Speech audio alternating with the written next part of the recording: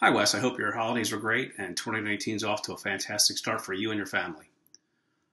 I just wanted to take some time to thank you and the ACP program for the fantastic support that you provided me over the past year as a, a mentor. From day one, you provided me with outstanding recommendations and insights that helped me progress my personal and professional development plan.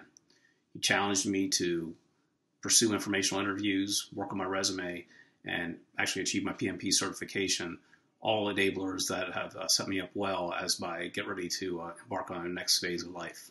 Without you there pushing me to uh, get those things done, it would have been easier for me just to go back and uh, fall back on those things in, in my current Navy career that, that, I was comfortable with. So thank you for pushing me outside of my comfort zone. And uh, thank you for all you do, not only for me, but for veterans everywhere. Uh, thank you and all the best.